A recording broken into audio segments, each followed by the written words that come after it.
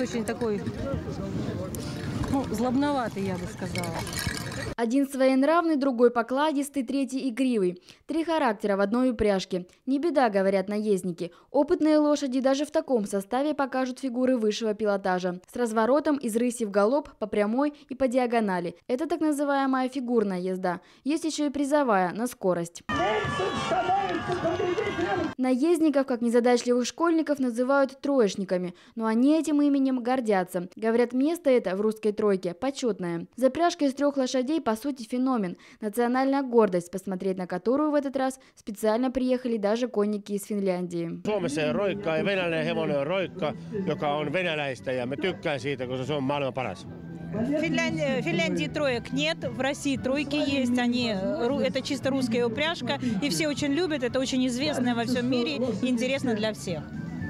Финские наездники тоже оседлали коней, только уже в одиночном заезде. И впервые в истории праздника в Ерофейке прошли международные соревнования. В них финский спортсмен буквально на полшага обогнал волокжанина. Традиционно в скорости состязались и конники из соседних регионов – Костромы и Ярославля. Это все-таки исторически сложилось, и мы не должны этого терять. А вот этим лошадкам пришлось тянуть за собой поклажу в 800 килограммов. Один круг на скорость. Но тяжеловозам к таким испытаниям не привыкать. Рабочая сила. Круглый год трудятся на полях. А на соревнованиях выступают даже ветераны. Старая лошадь ехала, допустим, 22 года. Если сосчитать с человеческим возрастом, умножить на 4, получается 88 лет. Несмотря на преклонный возраст, фору даст любой молодой кобыле, делятся хозяева. В заезде тяжеловозов легионка взяла главную награду. Живых коней на ипподроме сменили кони железные. Заезды каракатов, или как их еще называют, драндулетов, уже стали традиционными на празднике. На таком, конечно, с ветерком не прокатиться, но зато он пройдет там, где любая другая техника ни за что не проедет.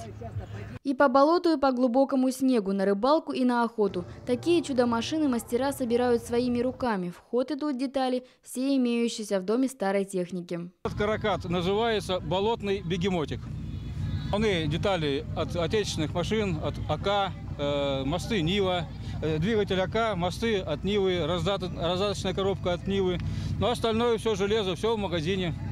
Кому-то по количеству лошадиных сил, кому-то для души. На празднике каждому свой конь нашелся. Алена Шипилова, Василий Попурин. Новости Вологды из Вологодского района.